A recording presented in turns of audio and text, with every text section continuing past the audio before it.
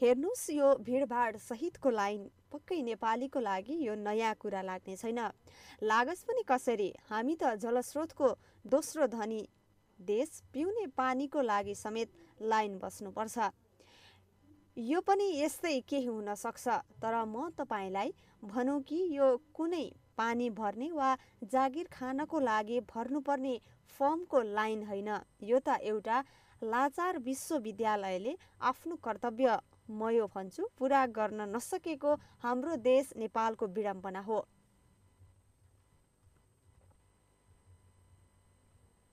एउटा शिक्षाको डिग्री प्राप्त गर्नको लागि विद्यार्थीले पढेर मात्र पुग्दैन यस्ता झन्झटबाट पनि गुज्रिनुपर्छ।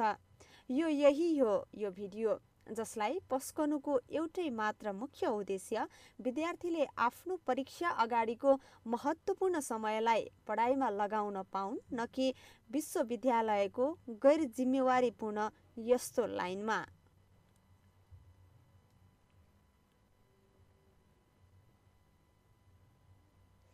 विक्रम सम्मत उन्नाइस सय उन्सठीमा स्थापित टियु अर्थात् त्रिभुवन युनिभर्सिटी नेपालको सबैभन्दा पुरानो युनिभर्सिटी हो र यो नेपालको ठुलो विश्वविद्यालय पनि हो। साथै उच्च शिक्षाका लागि नेपालको पहिलो राष्ट्रिय शैक्षिक संस्थाको रूपमा रहेको पनि छ। तर पनि आज यो संस्था सानोदेखि सानो कार्यको लागि पनि आफैमा लज्जास्पद हुँदै आइरहेको छ। विश्व आज डिजिटल युग भनेर सम्बोधित छ।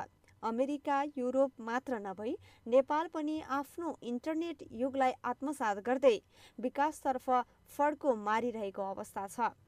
तर यो युगमा आएर पनि एउटा नेपालकै उत्कृष्ट र पुरानो शैक्षिक संस्थामा पुरानै बाहनाहरूले उसलाई माथि उठ्न दिइरहेको छैन।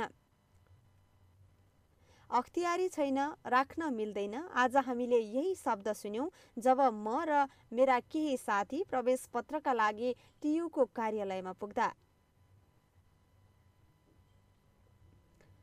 मात्र परीक्षा दिनका लागि हुनुपर्ने प्रवेश पत्र जसका लागि झन्डै बाह्र सय विद्यार्थी परीक्षाको केही दिन अगाडि आफ्नो परीक्षाको तयारी छोडेर घन्टौँसम्म लाइनमा बस्न बाध्य भएका छन्।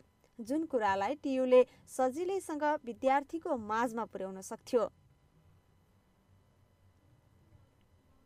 अहिले विद्यार्थी टियुले लिँदै गरेको मास्टर सेकेन्ड इयरको प्राइभेट परीक्षाको प्रवेश पत्र हासिल गर्नका लागि हुनुपर्ने कोणको लाइनमा घन्टौँदेखि बसिरहेका छन् जसलाई एक भित्तामा जसलाई एक भित्तामा मात्र एक ठाउँमा हेर्नको लागि टाँसिएको छ। जुन कुरालाई टियुले इन्टरनेटको आफ्नो साइटमा राखेर विद्यार्थीको अमूल्य समय र सहज तुल्याउन सक्थ्यो तर त्यो कतै देखिँदैन।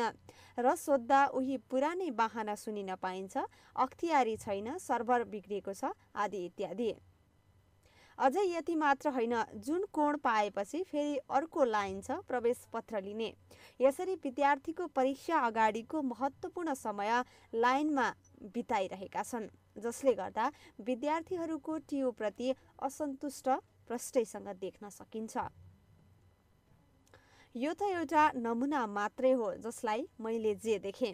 यस्ता साना कुरालाई टियुले सहज र सुलभ तुल्याउन सके विद्यार्थीहरूले यस्तो शास्ति खेप्नु पर्दैन थियो र आफ्नो परीक्षा अगाडिको अमूल्य समय पढाइमा लगाउन सक्थे।